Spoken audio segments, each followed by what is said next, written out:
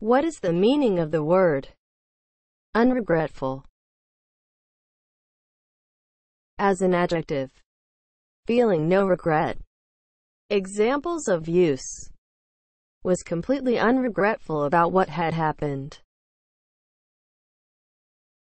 Unregretful is spelled U